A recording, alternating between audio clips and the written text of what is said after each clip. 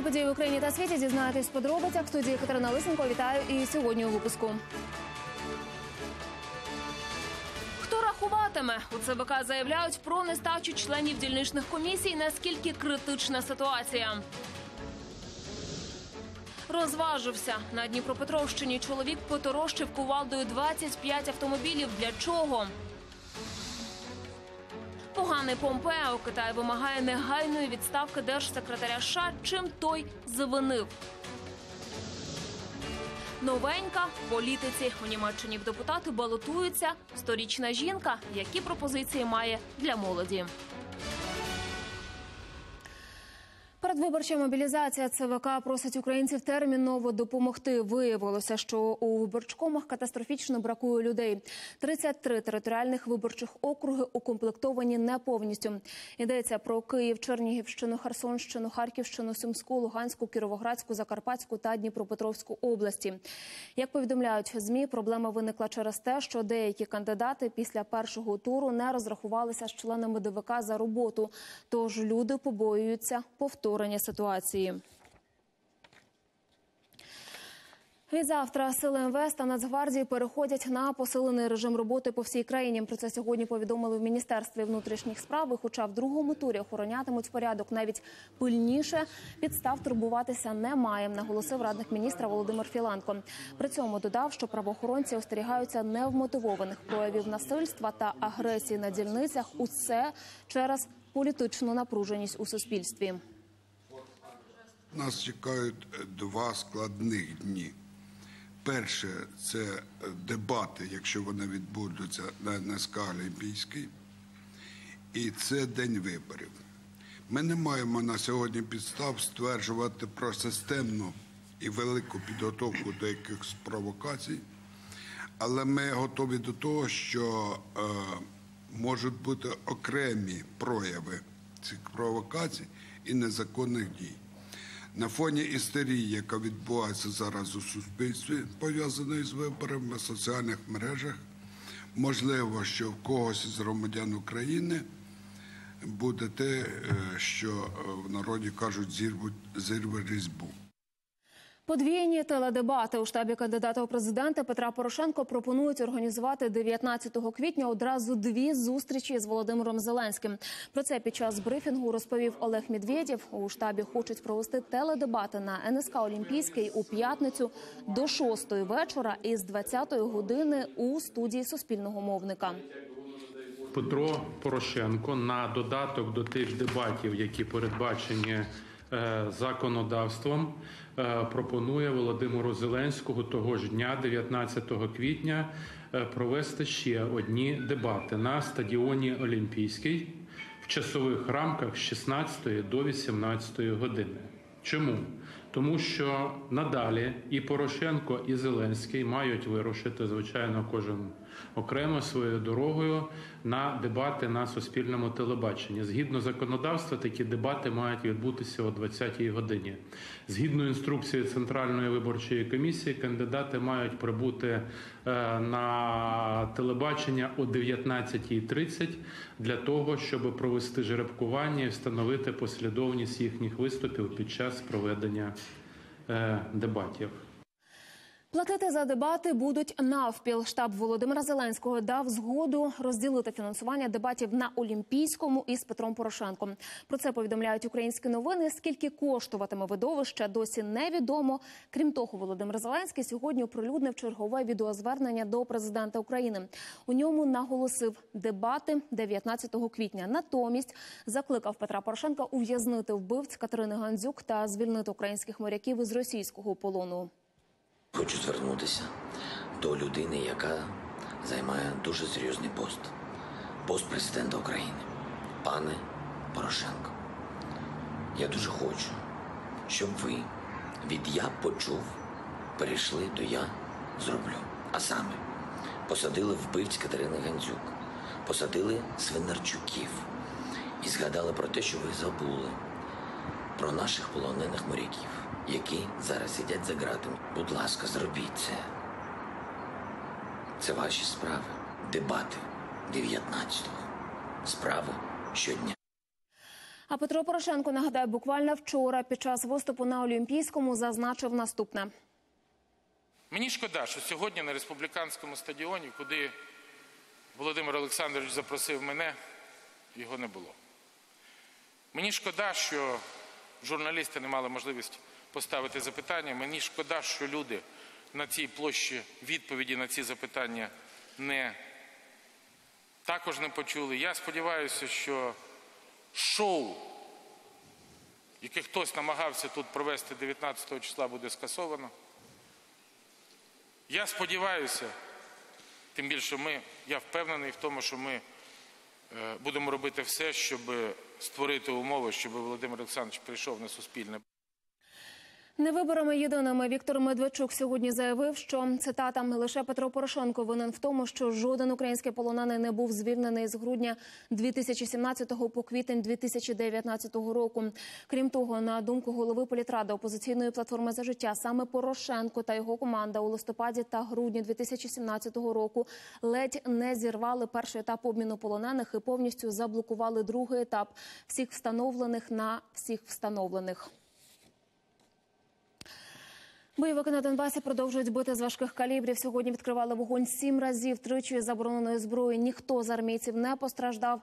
На провокації вони давали адекватну відповідь. Докладніше про ситуацію на передовій розкаже Ірина Баглай.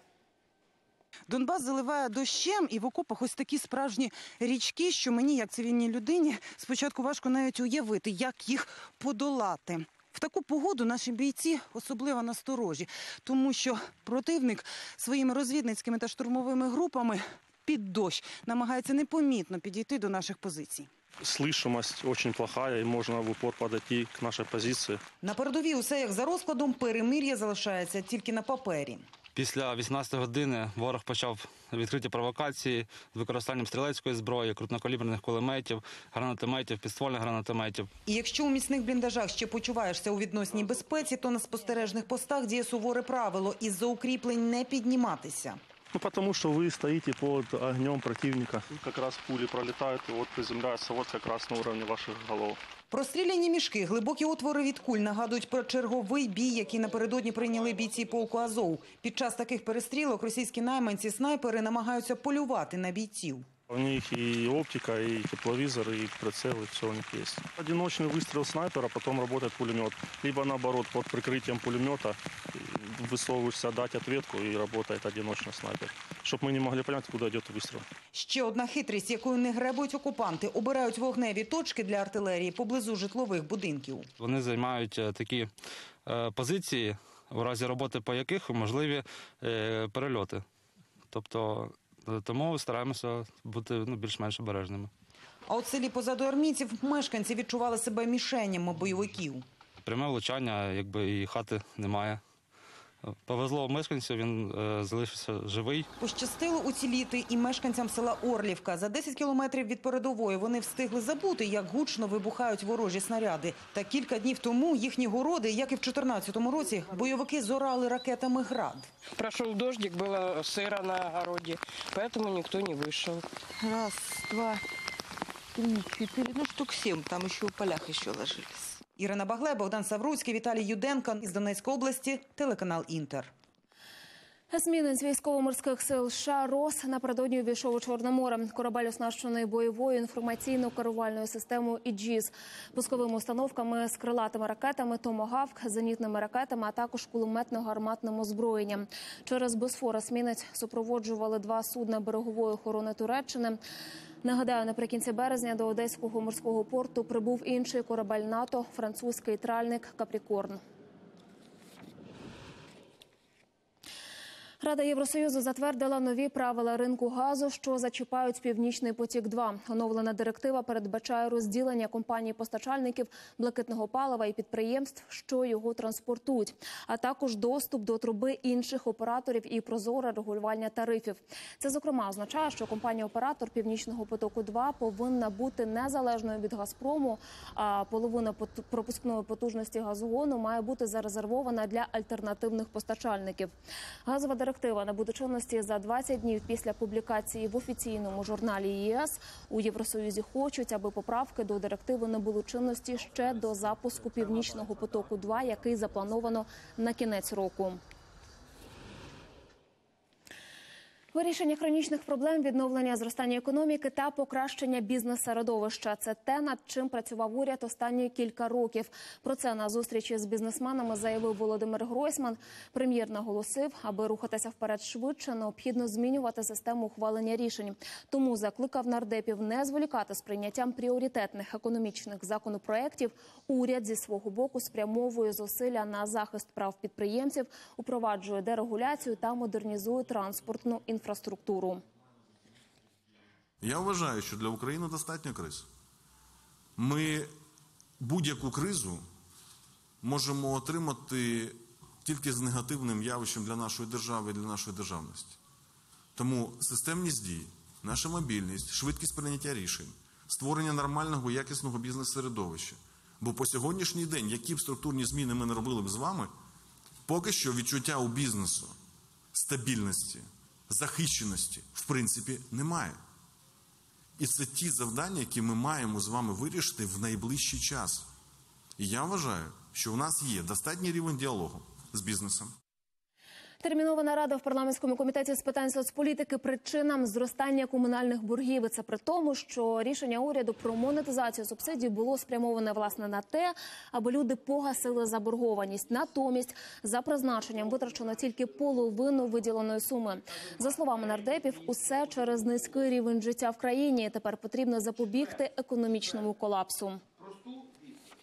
От 30 до 40 процентов людей, которые получили на руки монетизованную субсидию, ее не оплатили. И в результате этого общая задолженность за жилищно-коммунальные услуги в стране продолжает расти. Поэтому мы предлагаем три главных базовых пункта. Первое – это пересмотреть тарифы. И мы настаиваем на том, чтобы были проведены переговоры с МВФ, не допустить повышения тарифов с 1 мая. Второе – это назначение субсидий. И третий пакет, который мы настаиваем, это реструктуризация долгов.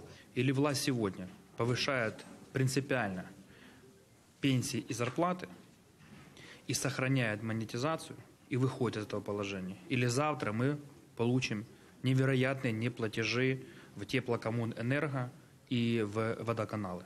Уже сегодня неплатежи возросли практически в два раза. Вторая составляющая. Мы должны четко понимать, что субсидиарная политика имеет очень жесткую альтернативу. Это понижение цены на газ. Себестоимость добычи украинского газа составляет 2 гривны 20 копеек. Нам продают по 8 гривен. 6 гривен – это навар, я подчеркиваю, это навар Международного валютного фонда, В Україні істотно подорожчав хліб. Це головний показник ціни на продукцію. Він зазвичай найбільше турбує громадян. Збільшилися у вартості також і інші продукти. Про це свідчать офіційні дані Держкомстату. Подробиці в нашому матеріалі. Головний український продукт хліб подорожчав за минулий рік на 22%. Підскочили ціни також і на інші продукти із зернових. Скажімо, вартість муки збільшилася майже на 10%, макаронних виробів на 20%, пшона на 70%. В офіційних даних Державного статистичного відомства зазначається, сукупно починаючи з 2014 року продукти з так званого соціального кошика подорожчали майже втричі. Наголошується, що така ситуація відбувається на тлі зниження реальних доходів громадян. Щоб заощадити, люди менше купують риби або м'яса птиці, а більше вживають круп і картоплі. Але і картопля лише за березень подорожчала чи не на третину. Але справжній рекордсмен білокочанна капуста вона підскочила в ціні вдвічі. Також головний інгредієнт так званого борщового набору буряк збільшився у вартості на 15%.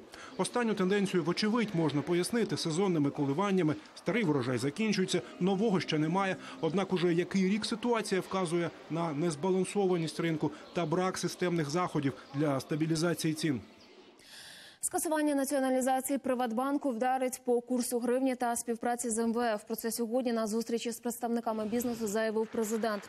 За словами Петра Порошенка, це рішення може нести певні ризики для макроекономічної стабільності валютного курсу та здатне призвести до нової кризи. Глава держави також прокоментував інформацію про те, що колишній власник Приватбанку Ігор Коломойський вимагає повернути йому 2 мільярди доларів. Різкі рухи щодо банку створюють певні загрози коштам його численних клієнтів. Рішення на користь колишнього власника стане потужним ударом по співпраці з Міжнародним валютним фондом.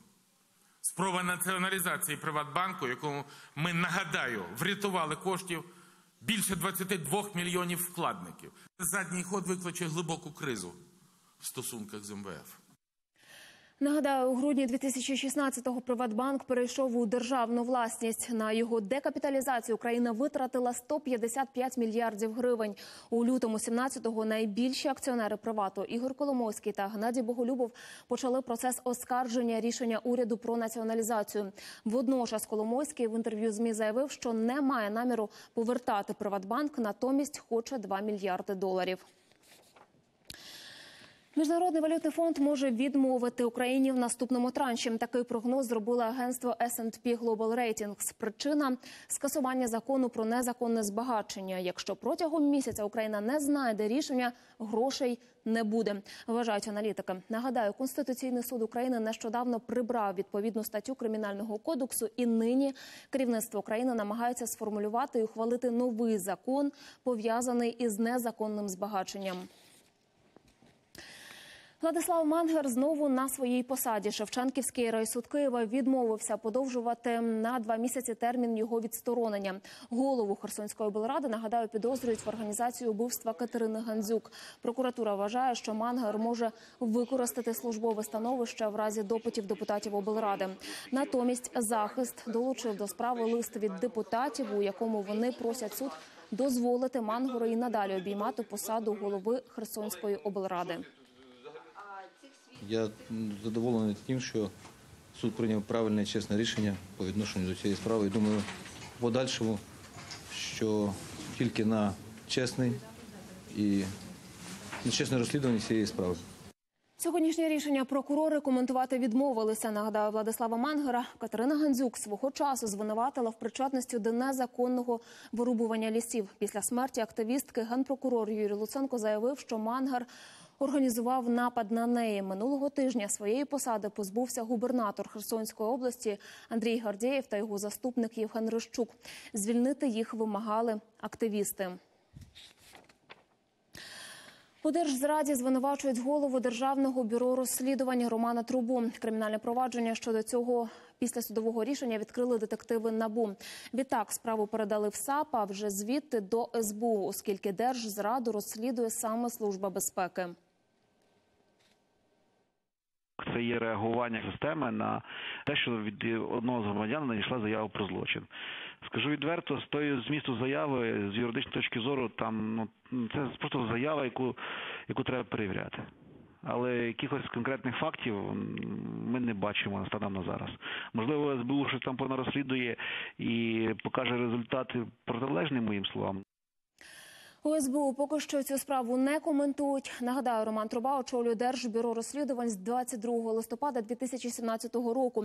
До цього з 1998 по 2015 працював на різних посадах у Львівській прокуратурі, а також у ГПУ. Торік задекларував майже мільйон гривень доходів. Усе зарплатня. До вибуху автомобіля «Шевроле», який належав спецслужбовцю, міг бути причетний співробітник податкової поліції Києва. Такого висновку дійшли слідчі. Вони виявили групу осіб, які можливо мали відношення до скоєння злочину. Подробиці у матеріалі. Інформацію про пересування автомобіля потерпілого отримував співробітник податкової поліції Києва. З'ясувало видання Українська Правда. Згодом, за проханням свого кума, податківець надав пароль та віддалений доступ до свого комп'ютера, на якому було встановлено ключ від програми відеоспостереження.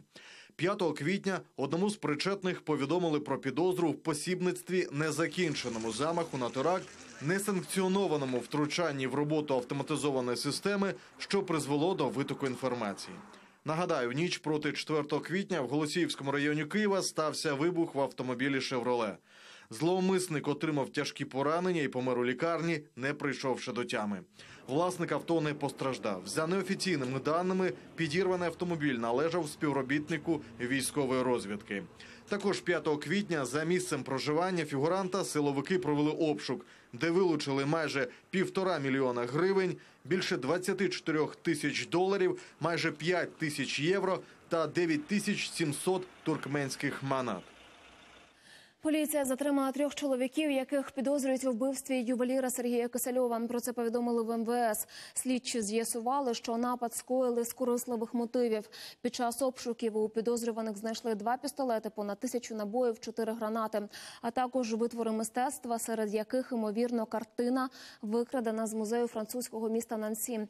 Її оцінюють у півтора мільйона доларів. За даними прокуратури Києва, двоє затриманих це колишні працівники СБУ та Нацполіції, а третій раніше судимий.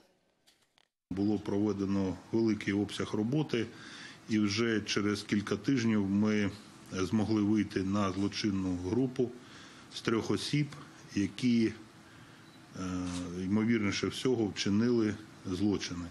Коли починала поліція ними займатися, вже предметно, скажімо так, перевіряючи, збираючи докази, ми зрозуміли, що ці особи готуються ще до скоєння низки тяжких злочинів.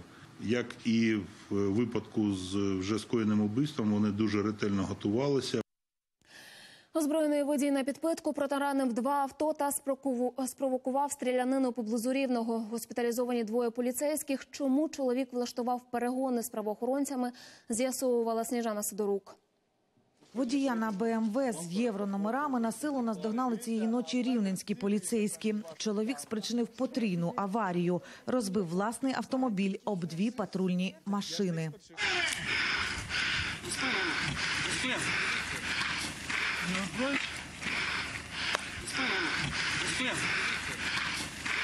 Із місця аварії швидка забрала трьох травмованих – пасажира БМВ і двох поліцейських. Зараз усі у лікарні. Попередні робочі діагнози підозри на черепно-мозкову травму, забоєм яких е, тканин голови, тулуба, кінцівок. Загрози для здоров'я і життя в даний час у пацієнтів немає. У медзакладі водій службового позашляховика Міцубісі. Патрульний розповідає, порушник створював аварійні ситуації, не зупинявся на вимогу поліції та на шаленій швидкості мчав до обласного центру. Довелося його наздоганяти. Для цього задіяли чотири екіпажі. Рухались вже за ним, він збільшував швидкість. Е, Далі його почав блокувати автомобіль Toyota Prius. Цей автомобіль е, декілька разів вдарив Prius в, ну, в задній бампер.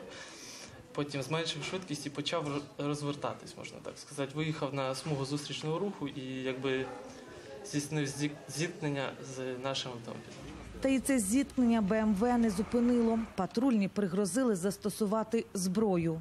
Автомобіль все-таки почав рухатися. Е, Працівники здійснили сім пострілів по е, колесах. Три колеса було пробито. Сам порушник, кажуть, у поліції не постраждав. Чому тікав, пояснити відмовився. Утім, причина стала очевидною після обшуку автомобіля. Було вилучено е, пістолет, е, вогнепальну зброю з ознаками переробки. Е, Вона буде направлена на експертизу. Відповідно, дозволів ніяких не було на неї. Також були і набої вилучені з місця події до цієї зброї. Це не перший досвід горе-водія, кажуть поліцейські. Його вже позбавляли прав за керування автомобілем у нетверезому стані. Водій, пробувши десь півтори години на морозі, надув е, дозу, яка перевищує в 10 разів допустимо. Ну, хоча вже він позбавлений права керування, все ж його нічого не навчило. За шалені перегони та опір працівникам поліції чоловікові загрожує до п'яти років позбавлення волі. До того ж, правоохоронці планують подати до суду, щоб порушник оплатив ремонт потрощених службових машин. Сніжана Сидорук, Микола Василюк, подробиці телеканал Інтер, Рівненська область. На Дніпропетровщині затримала чоловіка, який кувалдою розтрощив 25 автомобілів. У лиходія вилучили молот, прикріплений до дерев'яної палиці. Цим предметом він і він і гамселив по машинах.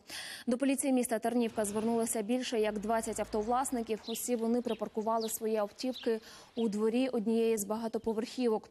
Коли вночі спрацювала сигналізація, люди побачили, як невідомий трощить їхні машини. По гарячих слідах поліції вдалося затримати зловмисника. Ним виявився 27-річний місцевий житель. Йому загрожує до 5 років позбавлення волі. Утім, затриманого можуть визнани, визнати неосудним. Здесь стояло 9 машин, ни одной не пропустил. В кого лобовое, у кого заднее. Ну, у меня лично машина пострадала, тоже заднее стекло разбили. Данный гражданин никак не пояснил свое поведение. Э, Такое ощущение, что он э, не совсем был в адеквате. Значит, планируется э, после закрепления, э, ну, после проведения всех первоначальных первичных следственных действий, мы планируем отправить данного гражданина на судебно-психиатрическую экспертизу, дабы установить его вменяемость. У Черкасах більше ніж 70 дітей опинилися у лікарні. Усі із симптомами отруєння, різкий головний біль, першіння в горлі. За попередньою інформацією, таку реакцію міг спричинити перцевий газ. На місці пригоди був Станіслав Кухарчук. Хай подивиться одна бригада, яка приїхала перша. Ви забираєте зараз дітей і їжджаєте. Да. Ось так терміново проводили евакуацію школярів першої міської гімназії. 18 машин швидкої приїхали за лічені хвилини. Щойно учні почали скаржитись на першіння у горлі та запаморочення. Керівники закладу набрали 103. Горло начало першить, как только открыли двери, чтобы посмотреть, что произошло. А потом я шла до шкафчиков, перекрыла рот рукой, а потом думала, что все уже нормально, и уж ходила в Запишите.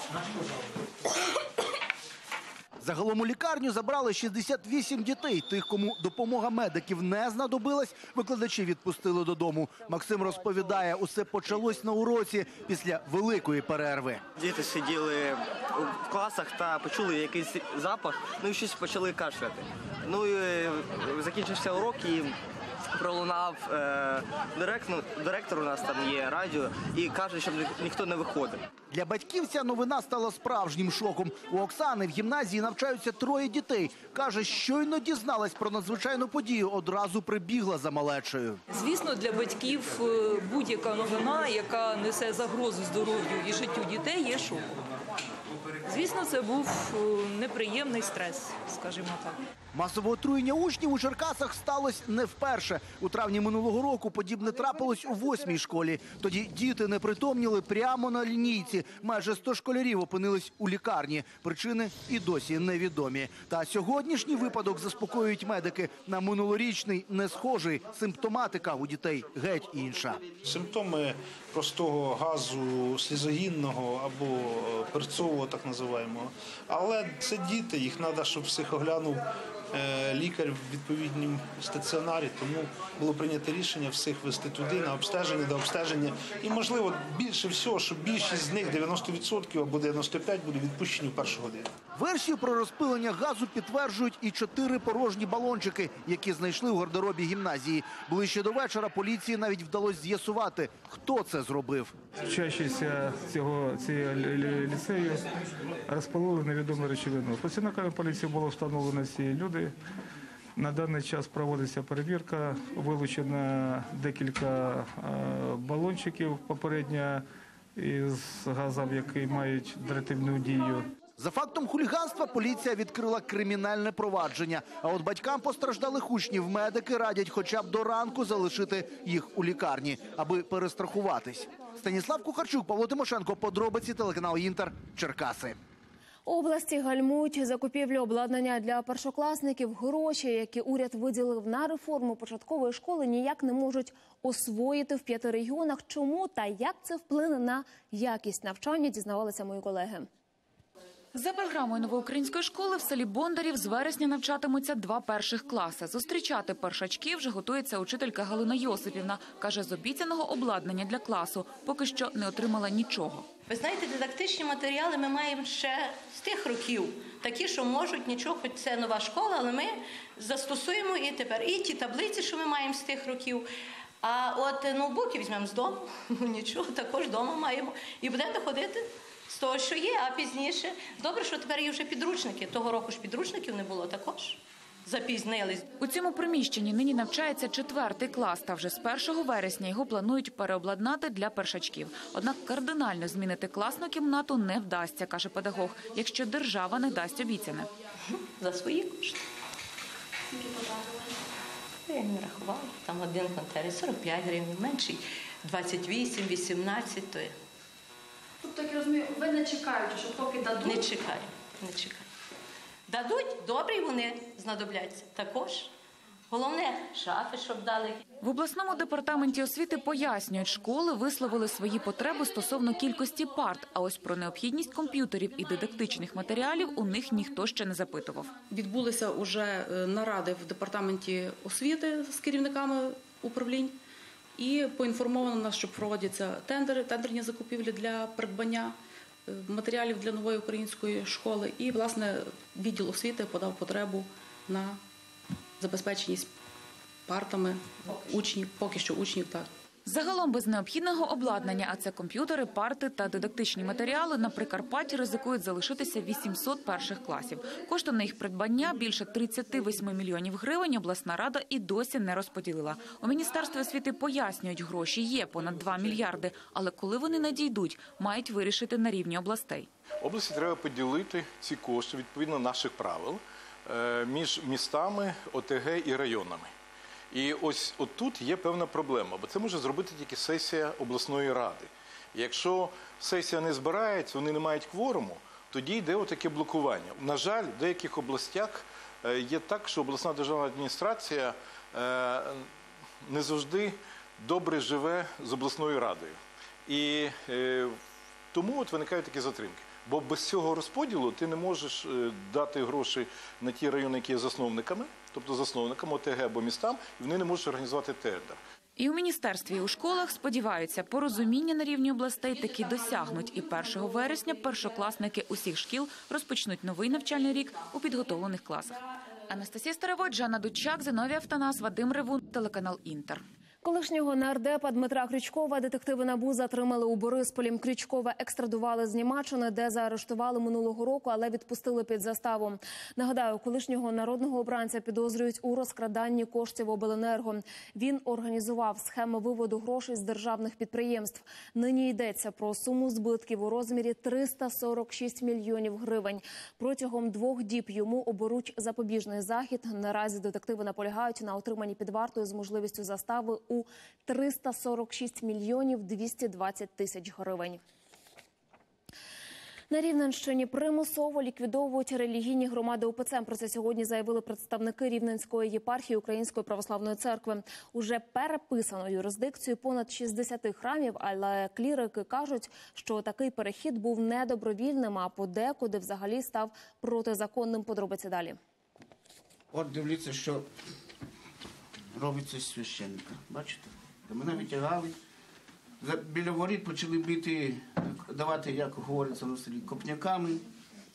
І лаяти, сміятися і плескати в долоні.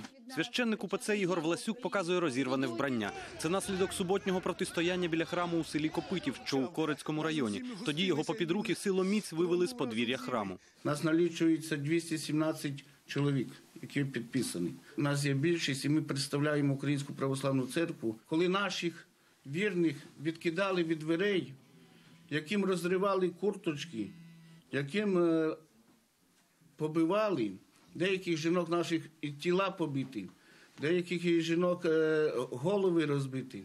А так виглядає недільне богослужіння у церкві, що в селі Розваж Острозького району. Тут храм захоплюють штурмом просто під час богослужіння.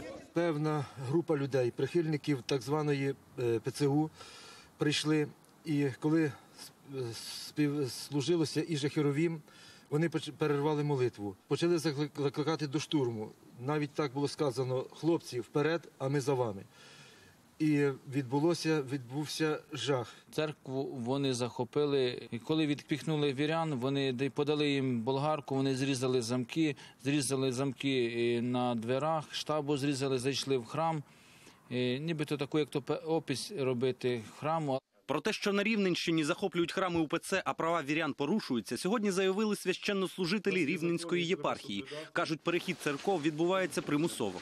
Це все відбувається диктатурно. Просто ліквідовуються е, парафії УПЦ, е, общини УПЦ, створюються нові общини. А бажання е, у більшості випадків, е, бажання більшості людей, більшості вірян зовсім е, не те, щоб навіть нівелюється, а зовсім не береться до уваги. Якась спроба чинної влади, і не тільки чинної влади, але й всіх держслужбовців розв'язати якусь таку міжрелігійну навіть не конфлікт, а війну вже. І це все призводить до дестабілізації і так складного становища у країні. У такий спосіб на Рівненщині уже змінено юрисдикцію понад 60 церков. Та в УПЦ заявили, що їх релігійним громадам про це не повідомили. Це право власності, яке мають наші храми. Воно порушується сьогодні. Є е, виписки про те, що наші громади далі продовжують діяти. З нами ніхто не порозривав охоронні договори. Просто наших людей на сьогоднішній день наші релігійні громади беруть і викидають на вулицю. В УПЦ переконані, і священники, і парафіяни сьогодні потерпають за віру. На них навіть відкривають кримінальні провадження. Рівненські священнослужителі закликали чиновників і владу дотримуватись закону та не втручатися в справи релігійні, а своїх вірних зберігати спокій під час Великого посту. Костянтин Редін, В'ячеслав Нікіфоров, подробиці, телеканал Інтер, Рівненська область. Четвертий день у в'язниці засновника Вікілікс відправили за грати до Белмаршу. Це чоловіча тюрма максимально суворого режиму. Що чекає на Джуліана Саджа далі, розкаже наш кореспондент у Лондоні Світлана Чернецька. У лондонській в'язниці Белмарш отримують особливо небезпечних злочинців, як от терористів і мафіозі. Її ще називають британською Гуантанамо. Наразі над засновником Вікілікс висить одразу три кримінальні справи у трьох країнах світу: Великій Британії, Швеції та Сполучених Штатах. По гарячих слідах після затримання британський суд визнав Асанжа винним у порушенні умов звільнення під заставу. Йому загрожує до 12 місяців за ґратами. А точна тривалість покарання стане відома вже найближчим часом. Паралельно 2 травня відбудеться засідання суду щодо екстрадиції Асанжа в Сполучені Штати. Там його звинувачують у змові з метою зламу секретного урядового комп'ютера. Йдеться про документи Пентагону з грифом таємно, які оприлюднила Вікілікс. Процес видачі Асанжа може зайняти роки, і є ймовірність, що цю справу визнають політичним переслідуванням і утиском свободи слова. Європейський союз має зробити все, щоб захистити журналіста від політичного переслідування. Ми закликаємо уряди Німеччини та Іспанії надати політичний притулок Джуліану Асанжу. Європейська рада і ЄС мають забезпечити його захист та завадити екстрадиції Асанжа до США. Що ж стосується кримінального переслідування у Швеції, це історія 2010 року. Одразу дві жінки звинуватили Асанжа у зґвалтуванні. Та оскільки він сховався в посольстві Еквадору в Лондоні, справу довелося закрити через відсутність підозрюваного. Утім, тепер, коли Асанж у руках британської феміди, шведські прокурори переглядають справу і цілком можуть відкрити провадження знову і теж запросити екстрадиції Асанжа для вчинення правосуддя. Я впевнений, що Асанж має відповісти на всі запитання стосовно сексуальних звинувачень і не проти видачі його Швеції. А я не погоджуюся з його екстрадицією до США, адже вірю, що Вікілікс розповіла нам правду про те, що колись в Афганістані та Іраку. За законом саме Велика Британія має вирішувати, куди передати Асанжа в Швецію чи у Сполучені Штати. Світлана Чернецька, Валентин Біліч, подробиці, британське бюро телеканалу Інтер. Китай вимагає відставки держсекретаря США Майка Помпео. Пекін та Вашингтон посварилися через його заяви щодо Венесуели. Чи не завадить конфлікт підписанню історичної торгової угоди між країнами? Дізнавався Олексій Пшемиський. Візит, який мав об'єднати союзників у протистоянні президентові Венесуели Мадуро, навпаки розсварив їх. Наприкінці минулого тижня держсекретар Сполучених Штатів Майк Помпео відвідав Чилі, Парагвай і Перу, щоб закликати владу цих країн підтримати лідера венесуельської опозиції Хуана Гуайдо. Вашингтон саме його вважає законним главою держави і активно шукає сприяння в Латинській Америці. У своїй промові Помпео вилив шквал критики за підтримку диктатури Мадуро на Росію і Китай. Китай це проблема. Дуже часто Пекін інвестував у Латинську Америку нездоровий капітал, даючи підґрунтя для росту корупції та заважаючи демократії. Їхня стратегія захоплювати країни економічно. Підтримка Китаєм президента Мадуро сприяла зростанню кризи у Венесуелі. Не дивно, звідки в нього гроші на повалення протестів. За останні роки Пекін лише офіційно інвестував у Венесуелу понад 60 мільярдів доларів. Кредити без зобов'язань, як і у Поднебесній, сподіваються повернути у вигляді доступу для китайських компаній до багатих покладів нафти в країні. Саме за такою схемою у Венесуелу інвестує і Росія, обмінюючи зброю і гроші на майбутню нафту. Зміна режиму в країні на прозахідний для Москви та Пекіна означала би втратити все. Але якщо фактично замороженим відносинам із Москвою критика від Помпео навряд чи зашкодила, у Китаї не на жарт образилися. Дуже довго США використовували Латинську Америку як майданчик для ігор і робили це шляхом погроз і тиску на інші країни. Заява держсекретаря Сполучених Штатів щодо китайсько-латиноамериканських відносин це наклеп і безвідповідальність. Ми категорично проти. Це відверта брехня. Пане Помпео, чи не час вам відпочити? Суперечка наддержав навряд чи сприятиме врегулюванню кризи у Венесуелі, де нині фактично двовладдя. І президент Ніколас Мадуро, і лідер опозиції Хуан Гуайдо заявляють про право на владу. Протистояння вже призвело до насильницьких протестів і глибокої гуманітарної кризи в країні. А військові, на бунт яких покладали сподівання Сполучені Штати, не поспішають повставати. Тим часом, через заяви Помпео, Вашингтон ризикує втратити ще й гроші. Звинувачення на адресу Пекіна можуть поставити під сумнів укладання нової торговельної угоди між Китаєм і США. Документ мав покласти край торговим війнам з Піднебесною, які розпочав Трамп, і від яких втрачає мільярди насамперед Америка. Та от і вибачатися у Сполучених Штатах навряд чи будуть. Із Вашингтона Олексій Пшемиський, Сергій Єрьоменко. Подробиці американське бюро телеканалу Інтер. У політику в поважному віці у Німеччині до міської ради балотується пенсіонерка Лізель Хайзе. Жінці виповнилося 100 років. Що обіцяє кандидатка і чи готові підтримати її виборці, розкаже Тетяна Логунова. Лізель Хайзе гучно стукає в двері міської ради у прямому і переносному сенсі. Жителька містечка Кірх Гаймболанден, якій нещодавно виповнилося 100 років, йде в політику. Вона вирішила взяти участь у виборах до міської ради. Хочу зайнятися політикою. Мрію зробити щось корисне і добре для молоді міста. Балотується жінка за списком однієї з громадських ініціатив. У разі, якщо пройде, колишня вчителька фізкультури обіцяє відновити в містечку басейн. Басейн був раєм для дітей, і те, що його перетворили на руїну, велика помилка. Мої колишні учні, яких часто зустрічаю в місті, просять його відновити. Виборці таку поважного віку кандидатку всіляко підтримують. Мовляв, її політична активність заслуговує на шану.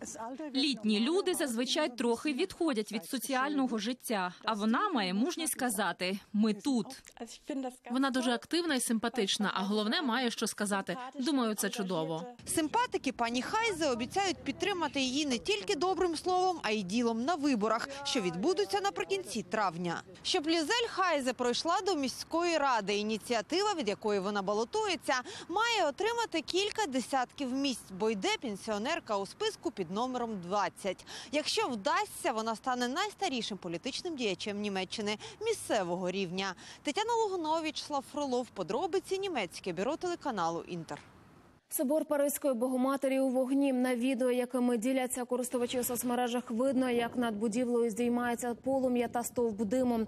Причини займання поки невідомі. Пожежники припускають, що спалахнули будівельні конструкції, оскільки в соборі ведуться ремонтні роботи. Про постраждалих інформації поки немає.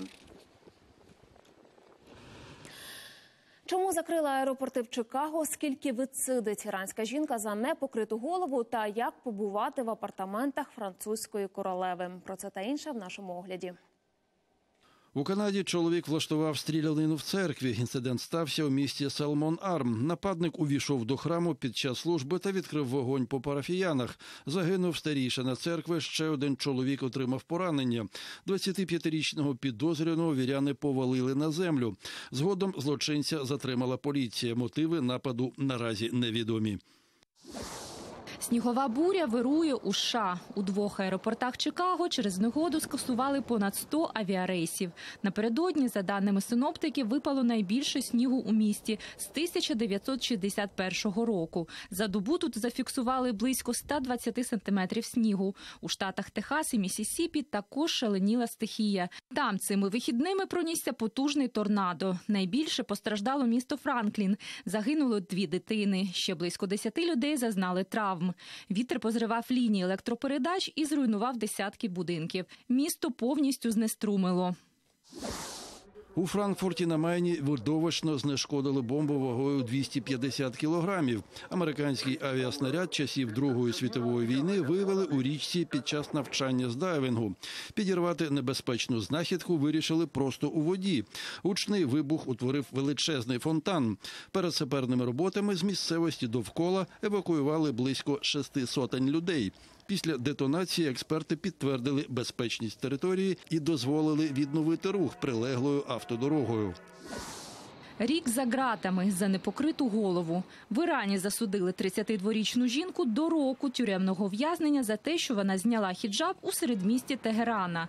Судді визнали жінку винною в аморальній поведінці та підбурювані до непокори. Віда Мавахід однієї з перших в Ірані виступила проти обов'язкового носіння хіджаба.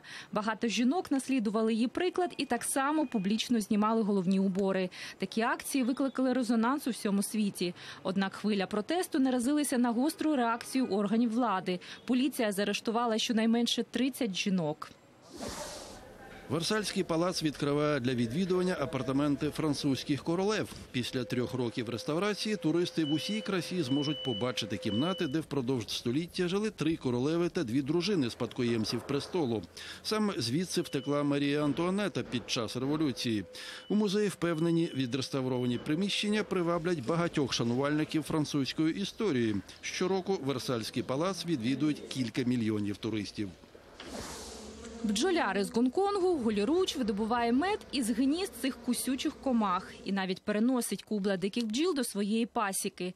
62-річний китаєць каже, понад півстоліття практики навчили його, як поводитися з роєм. А захисне спорядження лише заважає, бо знижує чутливість пальців. Секрет полягає в особливому способі витягування стільників. Це треба робити так, щоб не вбити бджолину королеву. Інакше її піддані кинуться атакувати. Більше новин, як завжди, на нашому сайті. Подробності UA. Я бажаю вам гарного вечора та до зустрічі.